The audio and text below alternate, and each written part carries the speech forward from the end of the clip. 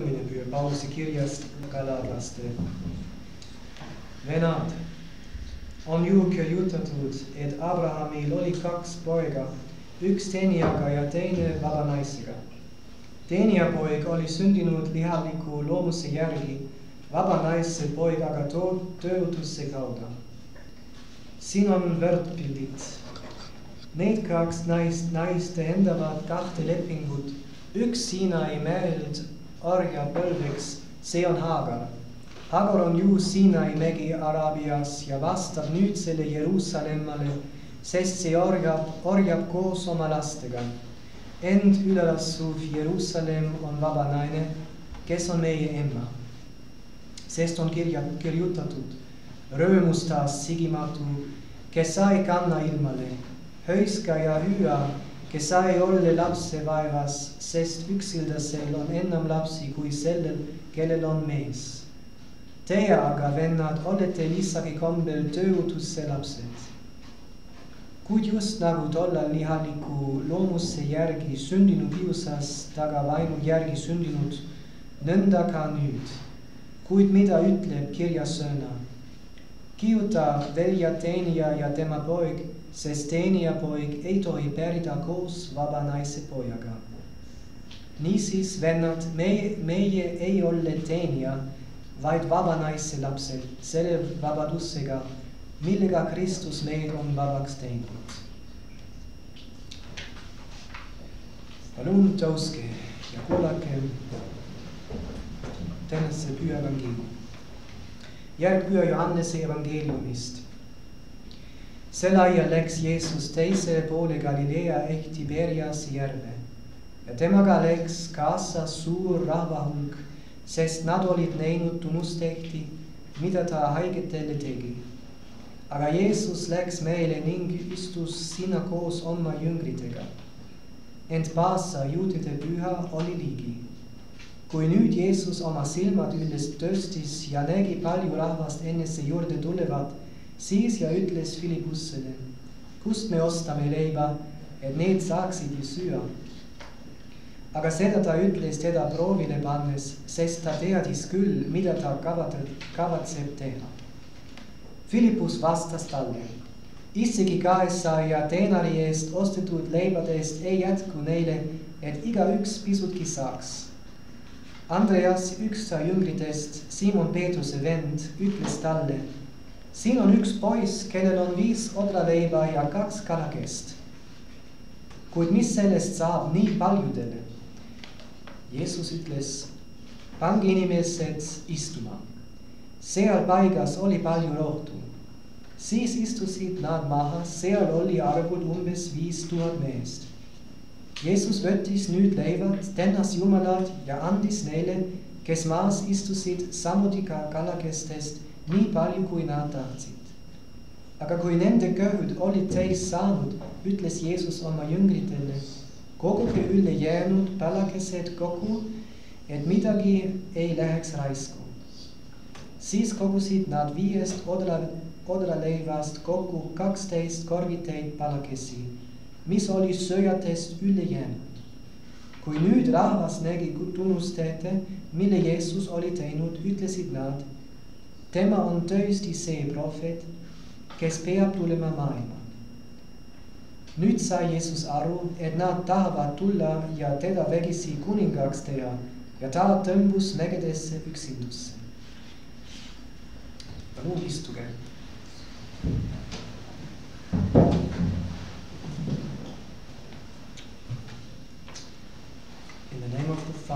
Son and the Holy Ghost, Amen. dear faithful, the people who were just fed, had just been fed with this miracle bread, they react to that. They say, This is of truth the prophet that is come into the world. So, the faith of these people is not that not pure yet because next sentence is they want to make him king by force because he has given them a lot of bread So they, they don't have a pure faith yet. But th- this reaction of praising him in the beginning, this is of truth the prophet that is come into the world, this praisal of Jesus, that is a good reaction. That is actually a Catholic reaction, and it is called thanksgiving. It's the spirit of thanksgiving to praise God for the things we have received. Praise the name of God. Thanksgiving. And this thanksgiving, dear faithful, is one of the main parts of prayer. There are several parts or kinds of prayer. But there are two main parts of prayer, main kinds. And this is first supplication, to ask God for things we need. That is supplication. And second, thanksgiving. These are the two main parts. And of these two main parts, the other parts come. They spring from these two main parts. So basically, most of our prayer is that to ask God for things we need and to thank Him for the things we have received by praising His name, by praising Him. And God expresses this truth through the mouth of King David, who says in, in his 49th psalm, And call upon me in the day of trouble, I will deliver thee, and thou shalt glorify me. So these are exactly the two parts. Call upon me in the day of trouble, supplication. And we are, if we are in need, we call upon God's help, supplication. Then God hears the prayer, I will deliver thee. He hears the prayer, and in return, we praise his name as thanksgiving, and thou shalt glorify me. It's exactly what we're talking about in this expressed in this Psalm of David.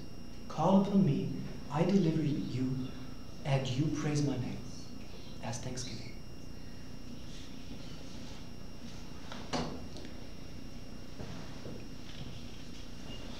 Maybe, maybe there is the doubt in our hearts sometimes saying, do we really need God in for everything? Do we need Him so much? Aren't we strong ourselves? Aren't we given the strength to do things ourselves? to achieve things ourselves. And not don't need God for that, maybe. Well, to answer this question, this doubt, it is helpful to consider our own poverty and misery.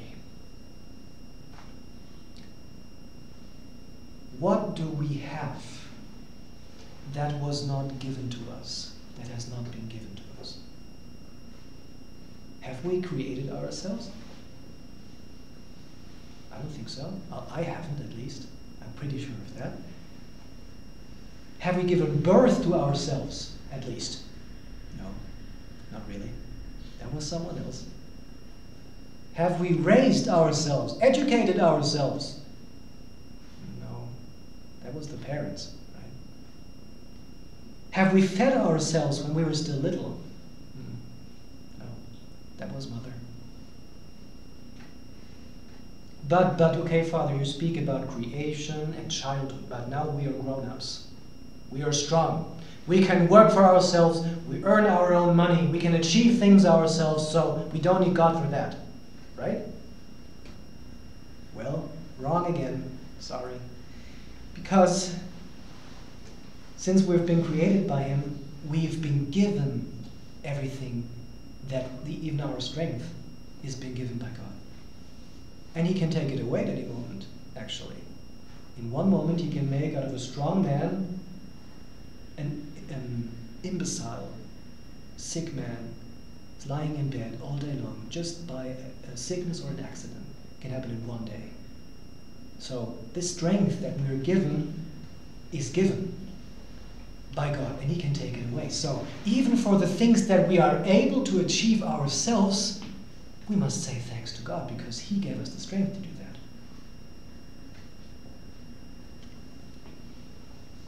So, the truth is, Dear faithful, some, I think in Lithuania, Independence Day was celebrated a couple of days ago, and I think here in February, I heard. So uh, that's good because independence of a foreign country, that's a good thing, but independence from God does not exist. Independence from God does not exist at all. In nothing. In nothing at all.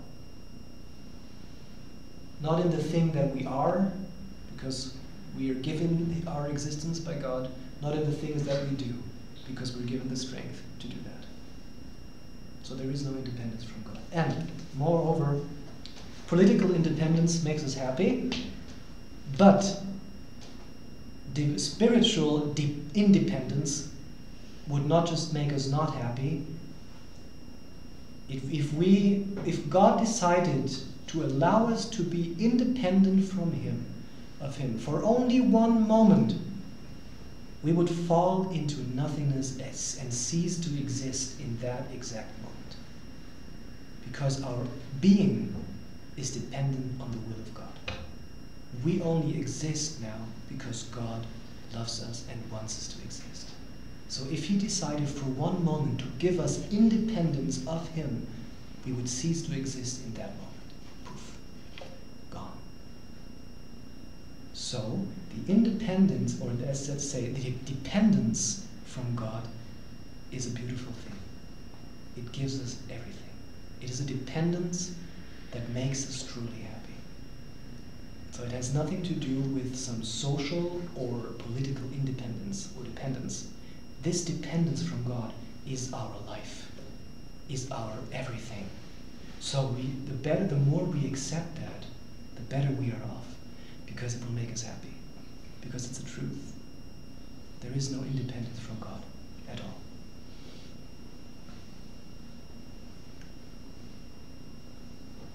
And this is, of course, even the more true of the spiritual things, of supernatural things, of grace, of good deeds that can merit us grace and, and heaven. Even more true because without grace we could do nothing at all to merit us heaven. Nothing. That's a gift of God too. We do this by His merits, by the merits of Jesus on the cross, and with His grace that has been given to us. Only with that can we merit anything for our eternal life. Without His grace, we can do the greatest deeds, even apostolic deeds, but without His grace and help, there is just no, no help for us. No help for heaven. So, especially in, this, in the religious sphere, there is a complete dependence on grace, on the grace of God, to do anything good. Everything else would be activism. Just do, do, do, do, work, work, apostle, apostolate, but without the grace of God, it's, it's hot air and nothing else.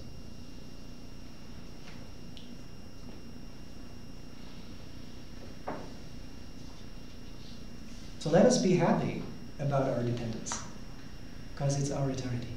It's our happiness, it's our joy. Now, is it, since that is the fact that we are completely dependent on, on, on, the love and the will and the help and the grace of God, I think we do have a reason to, to say thanks. And I think it would be a sin not to say thanks. Even for the slightest thing, for everything, for everything. Because nothing comes completely, completely from ourselves except sin. But sin is exactly not doing what is good, what God wants. It's an attempt to be independent.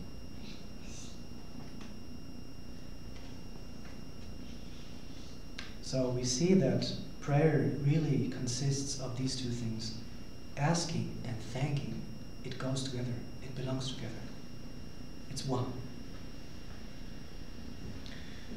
And I will tell you now a kind of prayer that is actually the most excellent and best way to pray. It begins when we pray by considering God's infinite power. When we want to go to prayer, think about God's omnipotence, His infinite power, but also His immeasurable goodness and wisdom, His love and mercy. Even when going to prayer, consider whom we talk to. He is, he is omnipotent, He is infinitely good, He is infinitely loving and merciful, and He is infinitely wise. He is wisdom. And to pray them with a firm hope that He will give us everything we need. Everything, because He's a good Father. And He cannot be indifferent. He cannot never be a bad Father. He's always a good Father. And He will always give us everything we need. And we go to pray with that firm hope in His love. That is a good begin to pray, a good way to pray.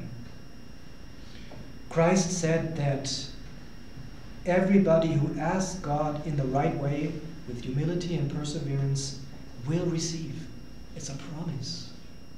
Christ promised that to us. If we ask Him with humility, respect, and perseverance, we will receive.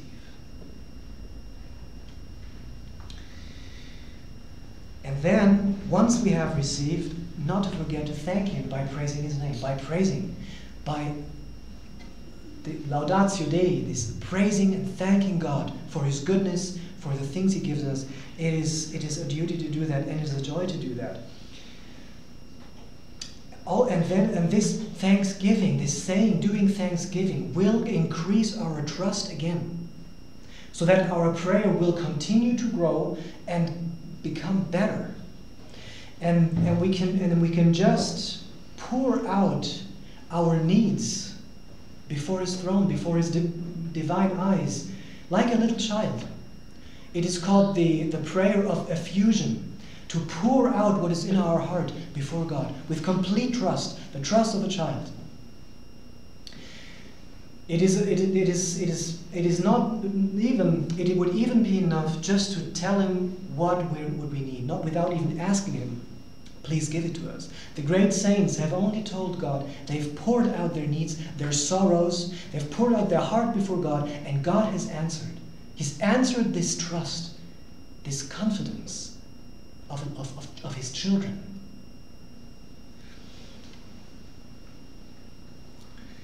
And I, I know a priest, and I will not tell you his name for a certain reason. Uh, he, he takes a lot of um, mass novenas. People give him intentions for nine masses, and, and, and then he says this, he says these, these masses. But what he will do, without telling the people that he does that, after he has finished the mass novena, he adds another novena by himself of thanksgiving. Even without knowing if the, the intention has been heard, the prayer. Just th thanks for thanksgiving for, for hearing. And he always, always, always is hurt by that. So he gets many intentions. Because people, people know somehow this priest, he's probably a saint, Somehow he, he gets us everything we ask for. Everything. Of course, except if it's sin. If it's against the will of God, of course. Then not. But but that's his secret. It's true. He's heard a lot. He, God hears his masses a lot. But the, the reason is because he said, made, says thanks before it's even been heard.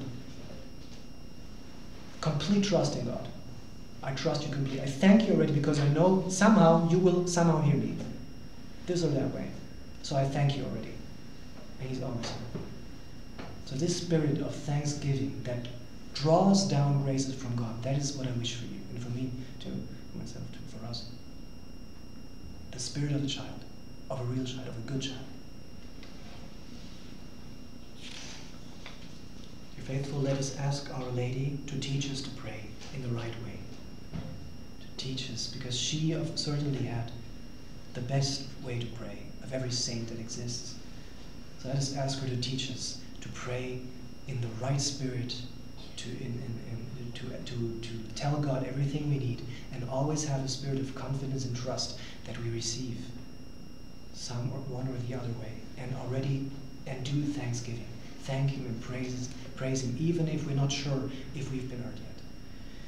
She may give us this beautiful virtue of praying, of praying that is loving and, and actually a joy and, and not work.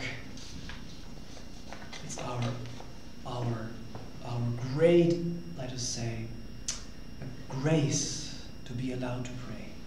It's a grace. It not, it's not just a duty. It's the most beautiful thing we can do on this earth to pray and to worship and to be friends with God and to be loved by Him and to love Him. Let us ask Our Lady to give us this beautiful grace. Amen. In the name of the Father and the Son and the Holy Ghost. Amen. I have to make a little announcement that I forgot to make before this sermon. Uh, this year, um, there will be confirmations, but the confirmation will not be in Estonia.